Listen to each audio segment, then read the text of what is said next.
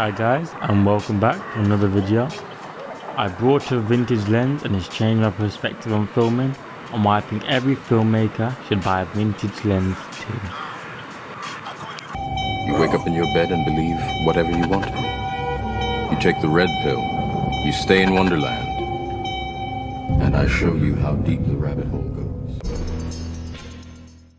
Recently I made a new purchase, the Helios 44 if I'm not mistaken. Sorry, yeah, yeah, yeah, the Helios 44. It was one of the best lenses I've ever brought as a first time filmmaker. And on the theme of being a first time filmmaker, these vintage lenses are a lot cheaper than other lenses. And yes, I have made a video recently of me unboxing this lens, but this is me going more in depth about the quality of this lens and actual clips of filming I've done of testing so I can show you a lot my personal experience and feedback on this lens. So um, as you see in the clip, it has loads of like flare and light glaze off it and it's a very over the top and extra and doing research into this lens I found out that it was a manufacturing fault and it didn't come like that originally but apparently it was so good that the manufacturers never looked to change that and if I am wrong with that fact please let me know. And if you see with the um boba I think it's called a boba. I'm sorry for the wrong pronunciation there. I'm not on about boba tea. I'm on about the reflective patterns on the lens. It's very hexa hexagonal. Like if you look at the reflections of the light that shape is very prominent throughout throughout. And there's also circle ones but it's very prominent with the hexagonal shape. Sorry for stumbling over that word. That word is very tongue twister like. And if you see the quality of this lens, like, there's so much character inside of the stuff that a normal new glass lens wouldn't have. And I'm just a massive fan of the whole look, especially like I said in my last video, that I'm a very edgy type of filmer. So this extra look it gives it, this rawness, it's very useful.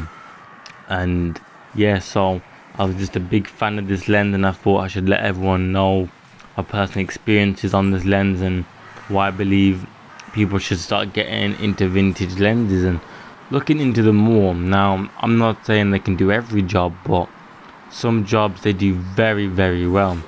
Those specific jobs, they blow out the water. Uh, my personal opinion, this lens is, is absolutely amazing. All the features and the roughness of it, it suits me, so I have no problem with it. But a bit of a disclaimer here before I move into the next section. The clips I will be showing you is of my new short film, Inside Out. And I'm going to show you guys a couple clips of the film and tell me what you think. Self-acceptance is the most important thing I learned writing this. Acceptance your true nature and your true feelings. Don't fight to change, just accept your life, and that's the start of change. But it's too late for me, but I've accepted it with joy, not sadness. No, never sadness. You never know when something could just be the final straw for someone, the thing that just makes all the dominoes collapse.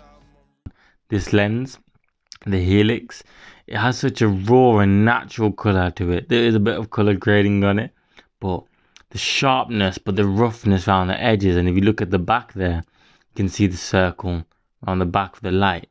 And even in this shot, you look at the bottom of the frame. It just adds that extra touch which a, a new glass lens wouldn't. And that light reflecting as a rainbow. Once again, I tried to take the same shot with my new lens, the glass lens, and it wasn't there.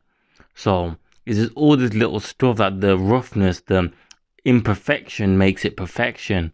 If you get what I mean, like stuff that you just don't get in brand new stuff. And even here, you're per perfectly circled light reflecting off here, which I absolutely love. Now you might be saying, does this not come with every lens? No, some lenses are so crisp and refined, it doesn't have this effect anymore. So guys, I hope you enjoyed this video. It was a short one it was just giving up a follow on from the last video which i'll also link at the end of this video if you guys enjoyed this video Please like, subscribe, and see you in the next video.